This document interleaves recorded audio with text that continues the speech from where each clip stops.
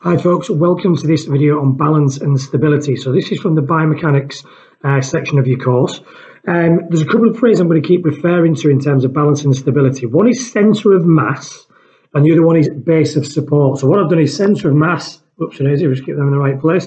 Centre of mass I've abbreviated to COM, okay, which you'll be able to see here, and base of support I've abbreviated to BOS, which I've abbreviated there. Now, centre of mass can also be referred to as centre of gravity, okay, which we've got written down here. Now, the thing about centre of mass is it's an imaginary point, but it is it's something that definitely exists. If you look at these diagrams here, this dot here that I'm just circling is the centre of mass or the centre of gravity on an individual. So it's the point at which all mass is distributed evenly. So everything up there has the same mass as everything down there.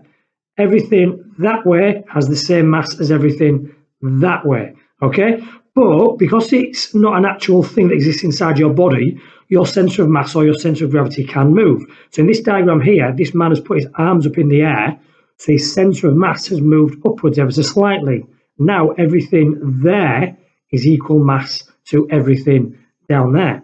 Equally, if he then starts to bend forward to touch his toes, his center of mass or his center of gravity can weirdly now exist outside of his body. Everything there is equally mass to everything there. So it is an imaginary point, but like I said, it, it does move. It's not fluid. It's not an actual thing that exists inside your body.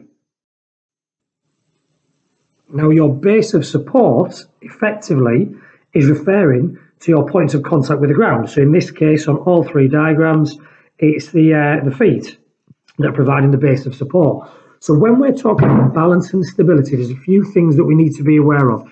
Balance and stability is really, really important in a lot of sports. Every time you're changing direction, every time you're tackling someone in rugby or something like that, you need to be in a balanced position or else you're going to get knocked over, you're going to fall over.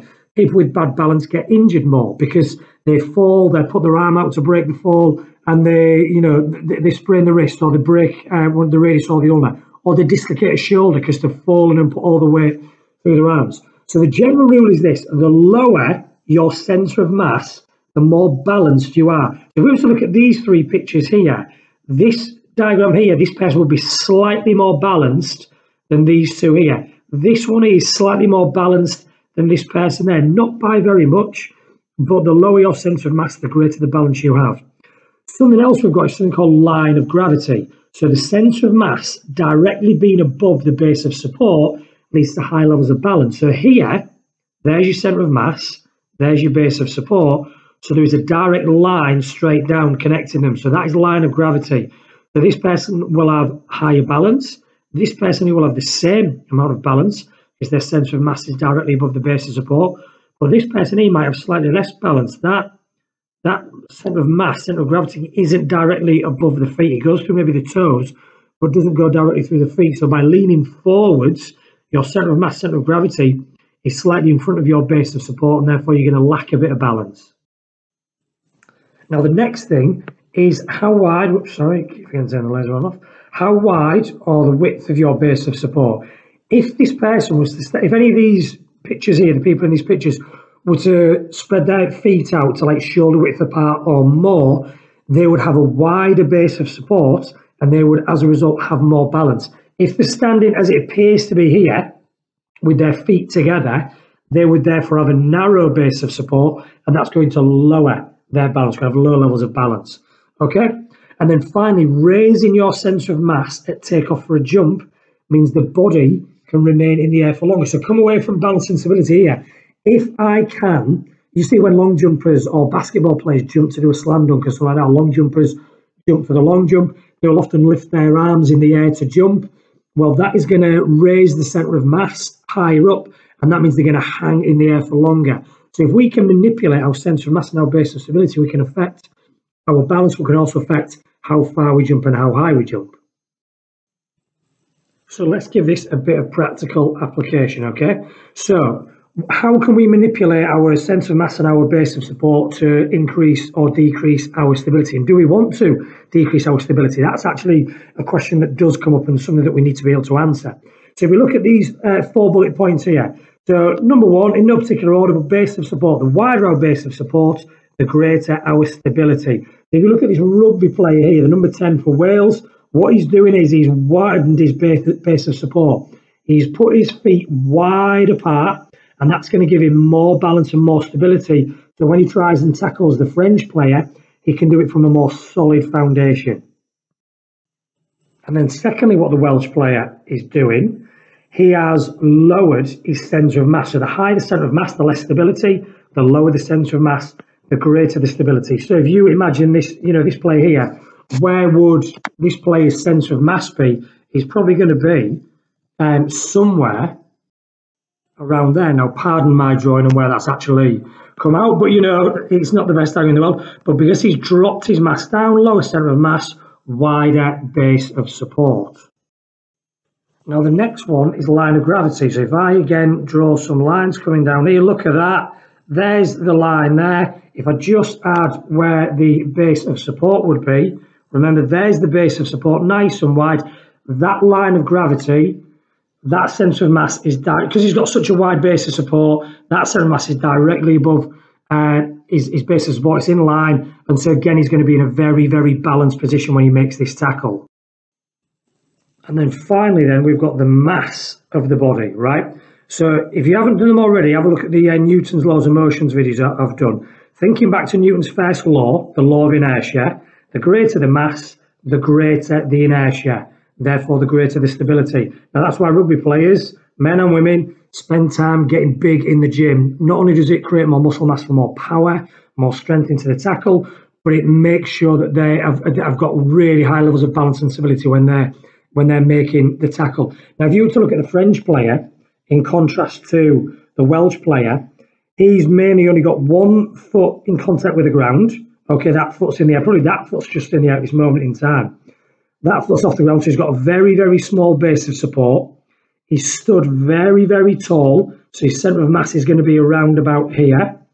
Okay, and you know he's not got direct line of gravity. Centre of mass isn't directly above the base of support. So when this Welsh player hits him, he's going to knock him down. He's going to put him on his backside, which is, is you know you can't always get yourself into a balanced position when you're about to be tackled. You know he's probably looking for the handoff, which is why his arms up in the air something like that. But that player is going to get knocked down onto the ground, which happens a lot in rugby. But this is the issue with centre of mass, base of stability, allowing you to make sure you're in a balanced or an unbalanced position.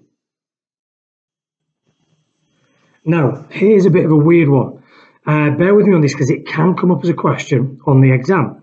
Centre of mass and doing a high jump. Now, if you go back to any Olympic Games before the 1970s, this was the technique that was used when doing a high jump. It was sometimes called the straddle, that sometimes do the scissor kick. But here's the bar, and the pole that you're trying to high jump over, and this white bit is your centre of mass, right? So every high jump uh, jumper in the world would, would adopt this technique or a variation of it. Then, some point in the 1970s, an American high jumper called Dick Fosbury came up with a technique, and it's since been named after him, and it's called the Fosbury flop. Now, if you've ever done high jump, you will have been taught this technique here. What Dick Fosbury did, and he was the first one to do it, was jump over the bar backwards, so with his back facing down on the bar. And what you can see here is his centre of mass, as he's clearing the bar, actually goes outside of his body and under the bar. Now, that's a bit of a weird concept to get your head around. His body goes over the bar, but his centre of mass passes under the bar because his body goes over in stages first his arms, then his head, then his chest, then his torso, then his hips, knees, and ankles, and he goes over bit by bit. So his center of mass goes under the bar. Now, what that means is, is that he can jump higher for less energy. Anyone trying to do this technique has to get their body and their center of mass over the bar. He's got to get his just his body over the bar, and his center of mass will pass under the bar. And as a result, as I've said, you jump higher for less effort. And it must work because every high jumper in the world now uses this technique. So the final bit then is, are there times when you'd want to actually reduce balance and stability? Because everything we've done so far is about increasing balance and stability. Well, the answer is yes. There are incidents and times in sport where you do want to reduce balance and stability. I'm going to give you a couple of examples now. So if we look at this example here, okay, Jonny Wilkinson has got a very narrow base of support, one foot in contact with the ground. His centre of mass, even though his squat at the legs is still quite high, and there is no line of gravity, his centre of mass is not over his base of support. Now, why has he put himself into this position? Because with less balance, you have increased agility. So you can sidestep or swerve people more effectively when you are in a position of low balance. Okay. So I will want to reduce my balance. I want to reduce my stability if I'm trying to sidestep or swerve an opponent. Another example here, if we look at this picture of Dina Asher Smith doing sprinting, her centre of mass is way out in front of her, as you are told to do when you are sprinting. Her base of support is back here. So again, very small base of support. She's literally on her tiptoes. There is no line of gravity. That centre of mass is not above our base of support. But being in this unbalanced position allows you to accelerate quickly. Okay?